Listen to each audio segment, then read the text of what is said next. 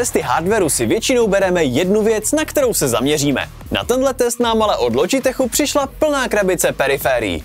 Veškerý obsah téhle krabice se nese v jednom tématu a tak vám dovolí dát si dohromady jednotně stylovaný setup.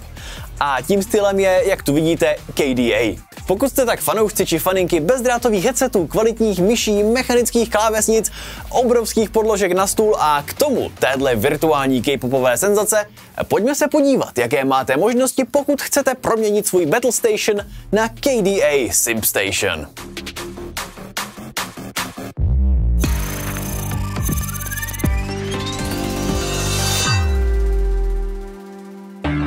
KDA je virtuální K-popová kapela, která se stává ze čtyř hlavních členek. Ahry, Akali, Evelyn a Kaizy. Každou zpívají různí reální interpreti, především pak známá americká zpěvačka Madison Beer, Jada Burns, dvě zpěvačky z G Idol a další. KDA vytvořilo kompletně Riot Games a tyto virtuální postavy tak přímo zapadají do světa hry League of Legends. Kapela byla odhalena v roce 2018 na světovém šampionátu, kde s pomocí rozšířené reality zaspívala kapela živě svou první písničku Popstars. Jejich skladba se stala natolik virální, že překonala 100 milionů zhlédnutí během jednoho měsíce. Umístila se taky na světovém žebříčku nejlepších digitálních distribuovaných písniček. To vše navíc vedlo k vydání EP v roce 2020 s názvem KDA EA All Out, které obsahuje pět nových písniček s tím, že nejznámější skladbou z tohoto výběru je More, která zbudila rozruch kvůli odhalení zřejmě nové členky kapely Serafin. Na to, že je kapela pouze virtuální, mají docela dobrý úspěch, co? Těžko uvěřit, co vše může taková hra jako LOLko vytvořit pro svou komunitu. Kromě tak výjimečných animovaných filmečků je tohle další zářez pro vyvolávačů žleb, kde si ostatně za členky KDA můžete taky zahrát. Na druhou stranu nemusíte hrát jen LOLko. S tím, co vám nyní ukážeme za hardware, si můžete zahrát všechny hry. Já bohužel nejsem hráč League of Legends a tak doufám, že mě neukřižujete, když tuhle sadu hardwareu vyzkouším na něčem, co je mi trošku blížší, třeba Valorantu.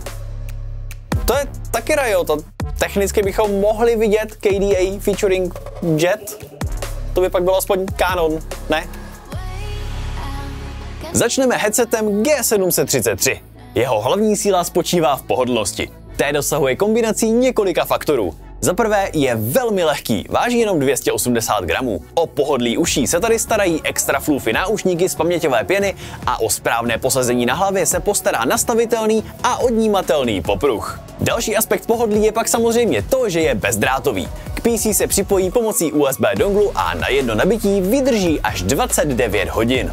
I jeho zvuk je velmi příjemný a můžete si jej jako všechna ostatní Logitech zařízení přizpůsobit v aplikaci G-Hub. Já jsem si tak lehce přidal výšek a s o něco čistějším zvukem jsem naprosto spokojen. Bohužel nejslabší aspekt headsetu je jeho odnímatelný mikrofon.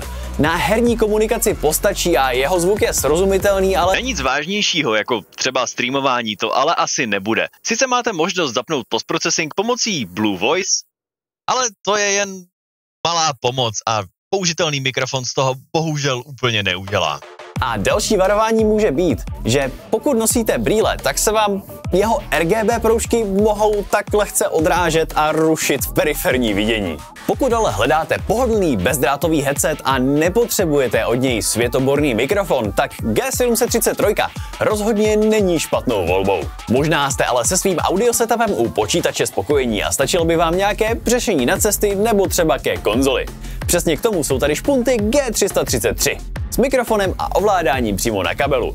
Na sluchátkách je 3,5 mm jack, ale možnosti připojit tyhle špunty značně rozšiřuje přibalený USB-C adaptér. Jako cestovní sluchátka se pak osvědčí i díky šikovnému přepravnímu pouzdru. Jejich zvuk je pak klasický špuntový na můj vkus lehce přebasovaný. To ale rozhodně není něco, co by nespravila drobná ekvalizační korekce. No a nebo můžete být někdo, kdo si ten extra boom prostě užije. No a je na čase dostat se k těm interaktivnějším kouskům. A začít můžeme s G305 Lightspeed. Touhle bezdrátovou myškou na jednotuškovou baterku s donglem pohodlně schovatelným přímo uvnitř myši samotné. Je to tak ideální myš k laptopu, kterou se vším potřebným jednoduše zbalíte na cesty. I když se jedná o takhle jednoduchou bezdrátovou myšku, rozhodně se nezalegne ani hraní díky snímači Hero. Dohodí se i ta dvě tlačítka na straně. Ať už si na ně namapujete Ctrl-C, Ctrl-V pro práci, budete si pomocí nich opírat zbraň a jo, moment, nebo si je dáte na cokoliv, na co se mapujou v lolku, tam se bohužel nevyznám. Pokud vám jde hlavně o bezdrát a stačí vám tohle jednodušší provedení, rozhodně se osvědčí i jako myš pro každodenní použití.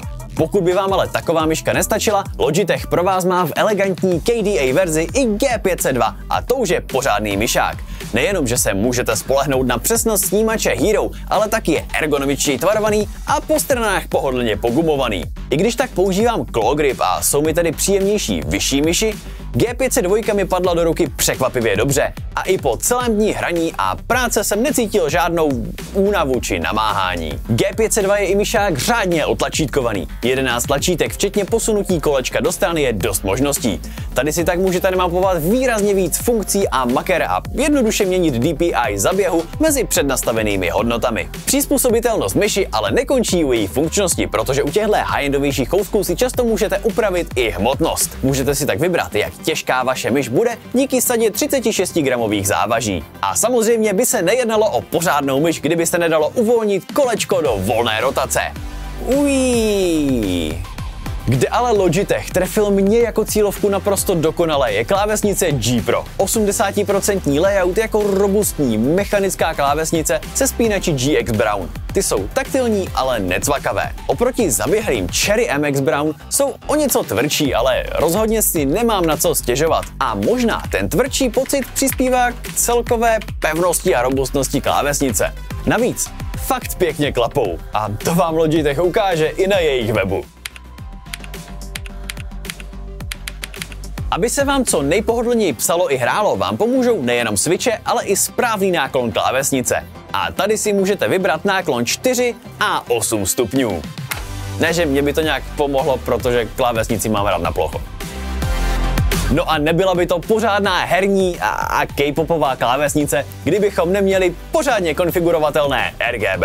A když už jsme u vzhledu klávesnice, tak tady podle mě nejvíc vynikne ta stylizace do KDA. Dvoubarevné provedení s angulárním designem a do tohoto lesklé logo KDA, to je prostě sexy hardware, i kdybyste nebyli fanoušci virtuálních K-popových kočkoholek. E, liškoholek, nebo co ona to je? Já, já vím, že ona má být asi devíti ocasá liška, ale já jsem prostě potřeboval do hardware testu protlačit slovo kočkoholka. Co ale ten KDA setup sjednotí a dotáhne do dokonalosti, je pořádná podložka G840. Nejenom podmyš, ale na celý stůl a k tomu pořádně těžká s pogumovaným spodkem, takže rozhodně nikam neodcestuje. Nejenom, že přidá pohodlí vašim zápěstím při hraní, psaní a všeobecném myšování, ale hlavně díky ní můžete obdivovat své virtuální oblíbenkyně přímo pod svýma rukama. Samozřejmě sjednocování stylu podložkou je fajn možnost, ale Logitech sjednocení vašich periferií řeší opravdu elegantně za pomocí zmiňovaného softwarového centra G-Hub. To nejenom, že dovolí sjednotit RGB všech zařízení, ale hlavně nastavit jejich funkce. Ať už je to zvuk sluchátek, mikrofonu či funkce a makra různých tlačítek. A z mých zkušeností s těmihle softwarovými centry pro zprávu periferií je zrovna G-Hub jedna z těch uživatelsky nejpřívětivějších možností, co na trhu je. Za svůj čas strávený s tímhle výběrem K-popově stylizovaného hardwareu jsem si prakticky obměnil všechny periferie v kanceláři a rozhodně jsem si takto období užil i když to znamenalo lehčí K-popový coming out. Kvalitní mechanická klávesnice a slušná myš jsou na mém stole prakticky standardem, ale pohodlí bezdrátového headsetu je pro mě novinka, se kterou se mi úplně nechce loučit. Asi nejvíc mě ale překvapilo, že věc, o kterou musím svůj setup doplnit co nejdřív, je ta XL podložka pod myš. Možná i v tomhle designu. Prostě v tom pracovat na měkkém je nějaké kouzlo.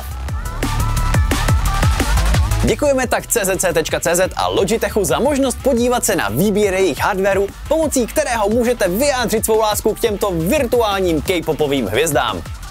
Ať už je tohle váš cíl, nebo vás lákají periferie spíše bez fanbojovských designů, těšíme se na vás u dalšího videa. Zatím ahoj.